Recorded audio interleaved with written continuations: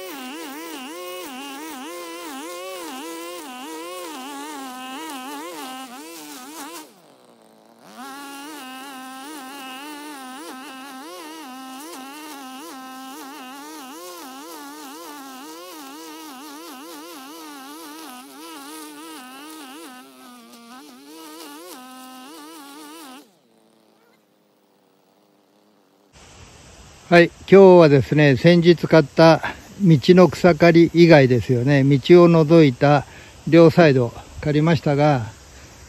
えっ、と今までですね私あのフェンスが見えますかね。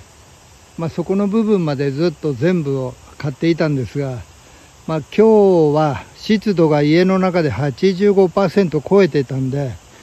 すごくあの過ごしにくいあの日です。